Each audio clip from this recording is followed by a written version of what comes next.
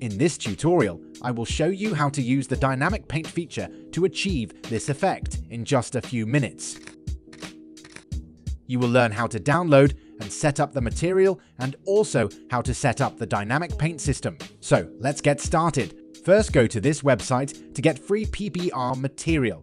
I'm going to choose this one and to access this library for free, you can watch this video. After downloading it, extract the file and open Blender, add a plane.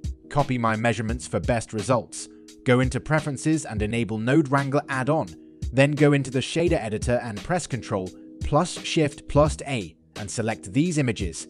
It will automatically set up the textures. Delete the displacement one as we are going to use the displacement modifier later and you are done. Go into the Modifiers tab and add a subdivision modifier. Select Simple and turn the value up to 8. After that, add a displacement modifier and set it like this. Select the displacement map, which you downloaded earlier, and we are done setting up the material.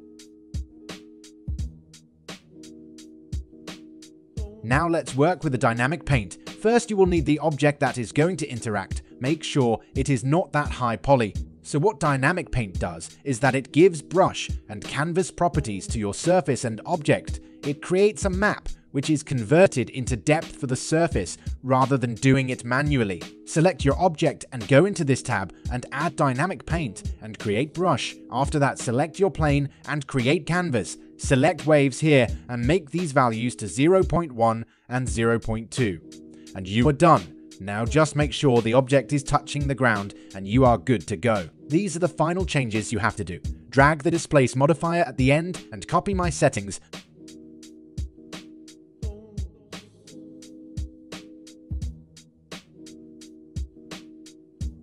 add a plane and set up the material, add your object and add dynamic paint to both, create a brush for the object and canvas for the surface, change it to waves and follow these settings, and you are good to go.